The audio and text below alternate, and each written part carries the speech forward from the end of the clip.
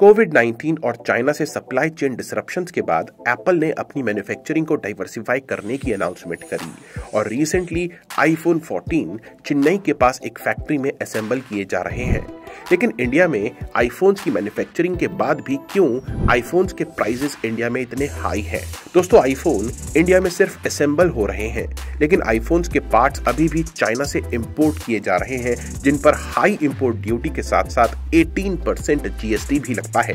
And इसी वजह से इंडिया में आईफोन के प्राइसेस इतने हाई हैं। तो जब तक हम इंडिया में पूरी सेमीकंडक्टर मैन्युफैक्चरिंग के इकोसिस्टम को स्टैब्लिश नहीं कर लेते, तब तक आपको ऐसे लोग दिखते रहेंगे जो दुबई, सिंगापुर जाकर आईफोन्स खरीदते हैं। दोस्तों, इसके अलावा नीचे कमेंट बॉक्स में हमें ज़रूर बताएँ, क्या आप एंड्रॉइड यूज़ करते हैं या फिर आईफोन